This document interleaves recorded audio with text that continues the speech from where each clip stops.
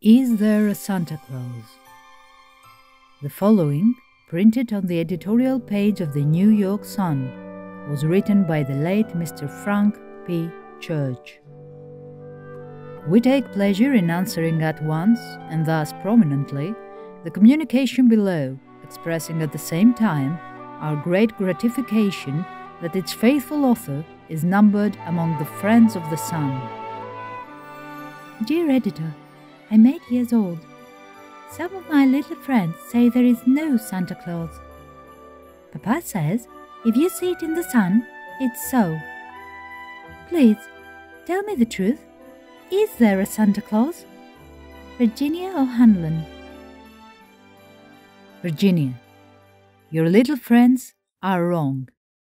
They have been affected by the skepticism of a skeptical age. They do not believe except they see.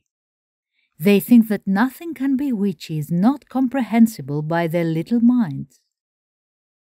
All minds, Virginia, whether they be men's or children's, are little.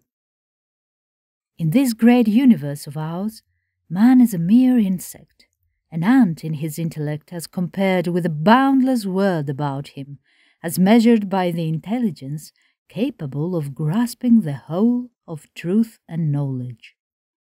Yes, Virginia, there is a Santa Claus. He exists as certainly as love and generosity and devotion exist, and you know that they abound and give to your life its highest beauty and joy. Alas, how dreary would be the world if there were no Santa Claus! It would be as dreary as if there were no Virginias. There would be no childlike faith then, no poetry, no romance to make tolerable this existence. We should have no enjoyment except in sense and sight. The eternal light with which childhood fills the world would be extinguished. Not believe in Santa Claus you might as well not believe in fairies.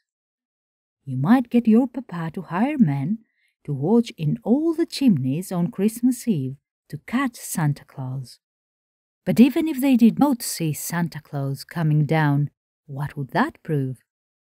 Nobody sees Santa Claus, but that is no sign that there is no Santa Claus. The most real things in the world are those that neither children nor men can see. Did you ever see fairies dancing on the lawn? Of course not, but that's no proof that they are not there. Nobody can conceive or imagine all the wonders there are unseen and unseeable in the world. You may tear apart the baby's rattle and see what makes the noise inside but there is a veil covering the unseen world, which not the strongest man, not even the united strength of all the strongest men that ever lived, could tear apart. Only faith, fancy, poetry, love, romance can push aside that curtain and view and picture the supernal beauty and glory beyond. Is it all real? Ah, Virginia, in all this world there is nothing else real and abiding. No Santa Claus. Thank God he lives, and he lives forever. A thousand years from now, Virginia, nay, ten times ten thousand years from now, he will continue to make glad the heart of childhood.